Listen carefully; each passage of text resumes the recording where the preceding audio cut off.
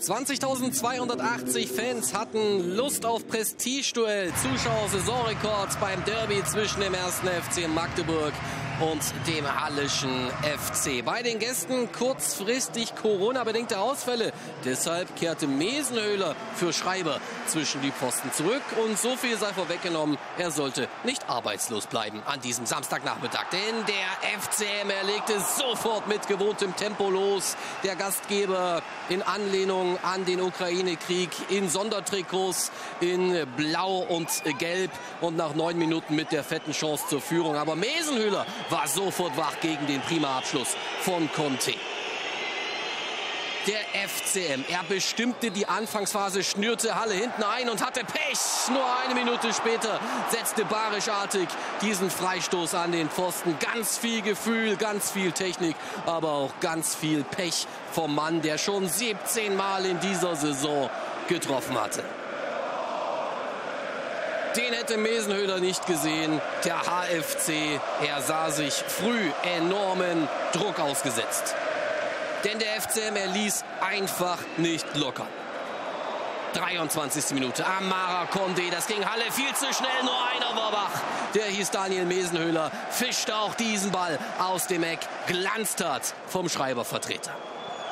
Eckball Magdeburg. Es ging nur in eine Richtung und dann gab es den Pfiff.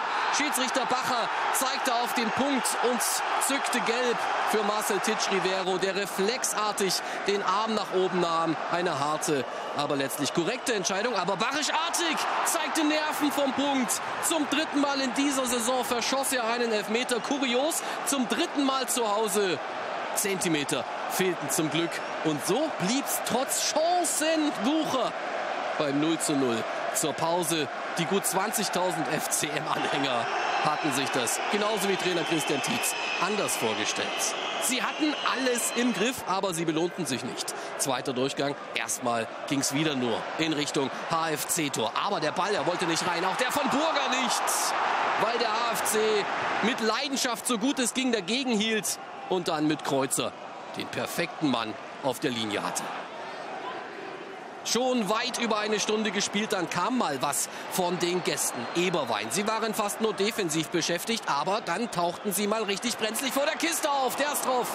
Der kam im ersten Durchgang für den verletzten Zulechner in die Partie. Hätte querlegen können auf Hut in dieser 67. Minute. Da hätte es das 1-0 für Halle gegeben und der Spielverlauf wäre auf dem Kopf gewesen.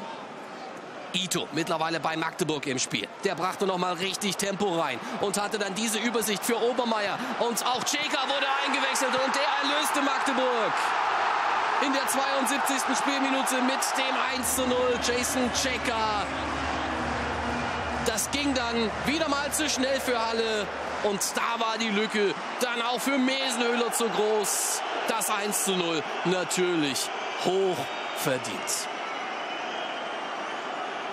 Magdeburg auf Kurs. Die drei Punkte, sie schienen schon so gut wie im Sack zu sein. Halle wurde mürbe gespielt, aber sie hatten noch eine Aktion und zwar die hier, 80. Ecke, Kreuzer und der Ball im Tor. Elias Löder, der Mann aus Wernigerode, bis 2015 in der Jugend des FCM gespielt, machte das 1-1 für Halle. Finn Otto, genauso wie Löder eingewechselt, verlängerte perfekt und so ergaunerte der HFC tatsächlich einen Punkt in Magdeburg. Ja, letztendlich spielt man einfach, wenn man Spaß dann hat. Und ja, das Tor war natürlich vielleicht äh, mit ein bisschen Glück zu mir gekommen. Und dann ist das Ding halt drin. Ja, ich freue mich für die Mannschaft und ich freue mich über den Punktgewinn. Ja, fühlt sich schon eher nach einer Niederlage an, sage ich mal, weil ich glaube, in der ersten Halbzeit haben wir so viele Chancen, müssen schon vielleicht 2-3-0 führen. Und dann nach so eine doofe Standardsituation gehen wir das aus der Hand. Und das ist natürlich traurig für uns. Dritte Liga, kurios. Der erste FC Magdeburg verliert 1 zu 1 gegen den Hallischen FC. Frust beim Spitzenreiter, Zufriedenheit dagegen beim HFC. Ein weiterer wichtiger Punkt im Kampf um den Klassenerhalt. Alle Spiele live, nur beim Magenta Sport.